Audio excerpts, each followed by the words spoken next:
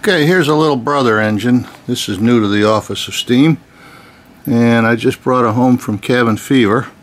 And I've got it going. It's a finicky little bugger, but I think I've got it ready to run. I'm using this coil, nice coil I picked up a few years ago. This works as a buzz coil or as a high tension. And I've got it set on high tension coil right now for spark ignition. And we'll flip it on.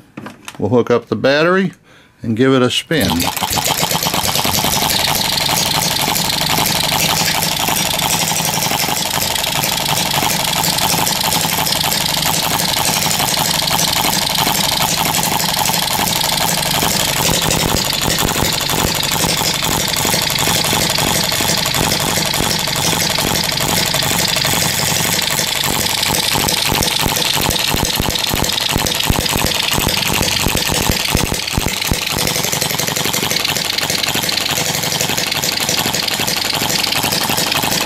Well, I'd call that a success.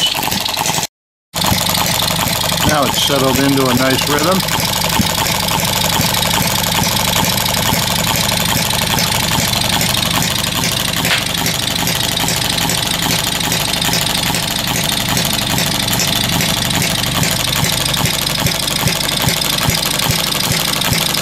That's all for now, and thanks for watching.